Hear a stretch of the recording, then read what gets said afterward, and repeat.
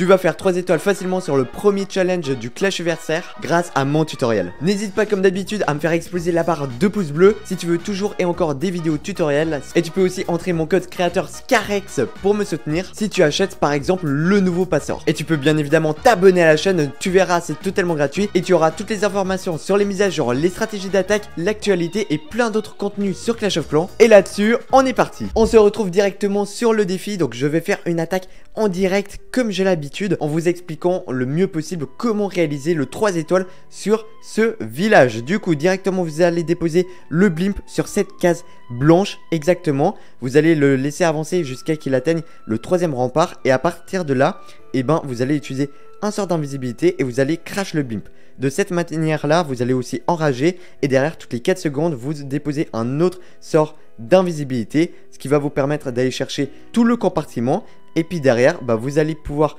utiliser le sort de rappel pour sauver vos archères justement du compartiment et garder toutes vos troupes en vie. Ensuite, vous déposez un ballon, donc euh, comme ceci, et finalement, vous allez déposer le sort squelettique au milieu des TDE et vous allez mettre également le grand gardien avec les archères et les guérisseuses tous ensemble pour aller chercher les 3 TDE. Donc là-dessus, ça va se passer super bien, vous allez voir. Et donc là derrière, on va arriver en direction du compartiment du monolithe. Donc là, vous allez pouvoir enrager le tout.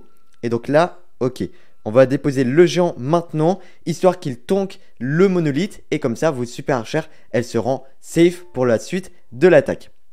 Donc ensuite, vous allez utiliser le sort de sismique sur le grand gardien. Vous utilisez le sort de poison sur les super euh, archères. Et puis derrière, eh ben, vous pouvez également par la suite geler le, euh, le grand gardien. Et puis normalement, ça devrait aller chercher très facilement la suite. Bon, euh, la suite en fait euh, du village. Donc là directement, on a une super chère qui prend pas mal de dégâts du grand gardien, mais elle survit grâce aux guérisseuses. Donc là-dessus, ça se passe super bien, vous le voyez. Il ne reste plus que le château de clan à aller chercher. Donc là, les petites super chères vont faire énormément de dégâts au squelette. Et derrière le château clan, vous allez tout simplement utiliser la capacité de votre grand gardien pour contrer un petit peu les sorcières et surtout le magicien défensif. Et vous voyez que c'est un 3 étoiles qui passe large en troupe mais aussi en temps. Et si tu es intéressé par voir d'autres vidéos, et eh ben tu as une vidéo qui apparaît juste ici, une juste là. Tu peux aussi t'abonner juste en bas ou alors tu as le bouton pour t'abonner juste en haut ici.